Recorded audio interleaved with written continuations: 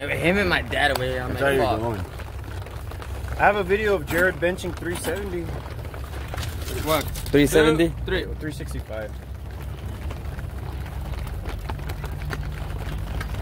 Oh, this guy's strong as He is strong? This guy's. Is Let's strong. see you. Let's see. Uh, put as much as you can.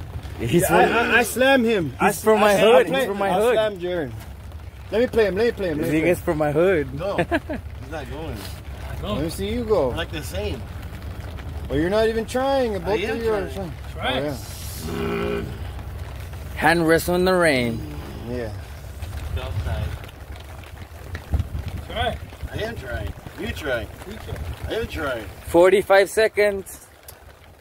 Oh yeah. Let me play him, Jared. Uh, let No, no, we already know. We already know. We already know. Oh. Let me see where. What is up, guys? Today, someone beat me in arm wrestle at work. So what we's gonna do is we's gonna train for two weeks straight, and then play him again. I'm gonna post a video um, today, and I might just connect it with this video here.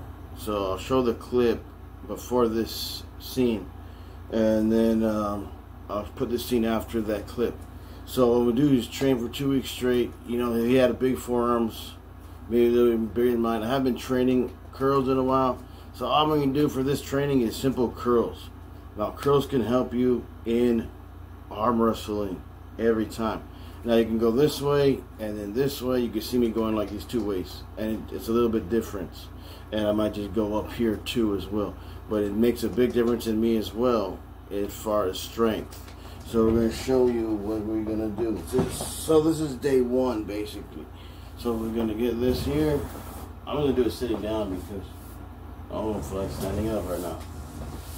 We'll get the weight in just one, and like that, two, three, four, five, six, seven, eight, nine, ten, eleven, twelve, thirteen, fourteen, fifteen, sixteen, seventeen. And then we'll just do the other one just so you know it won't it'll be like evened out, you know?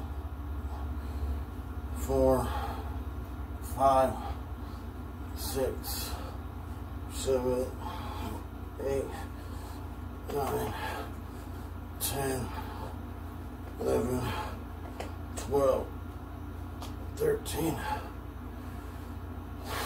fourteen, fifteen, sixteen. 17. I get it. We'll do some of. Ah. Oh, I got a crimp. Alright.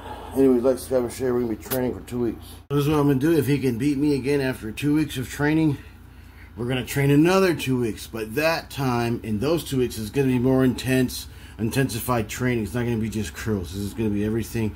We're going to have to go with a full Devon Larratt style arm training. So, we'll see what happens.